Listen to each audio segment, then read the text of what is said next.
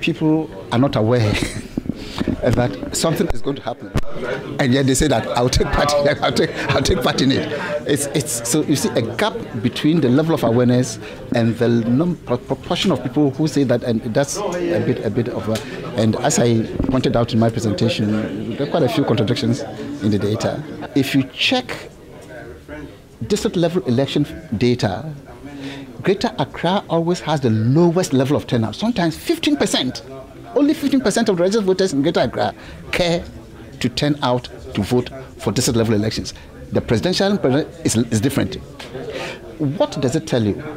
What it tells you is that people are generally not interested in anything local government. Because those of us in Accra, we don't receive good services from local government many of us, our children don't even attend their schools. They go to private schools where we pay very high fees. Many of us, we pay private waste management companies to come and remove our rubbish.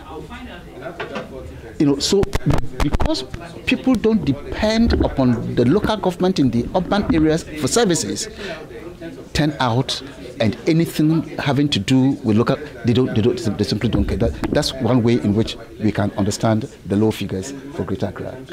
I, I am very surprised by the figures uh, from Afrobarometer because we have combined the referendum with a district level election.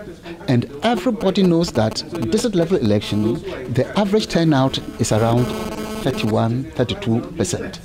Sometimes it goes to 41%, sometimes, you know.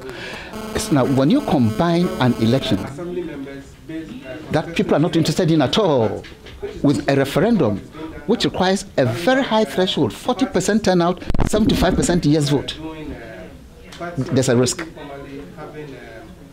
There are people who would, under normal circumstances, go to vote in the referendum. But because it has been combined with a district level election, oh, what do I gain from the local government?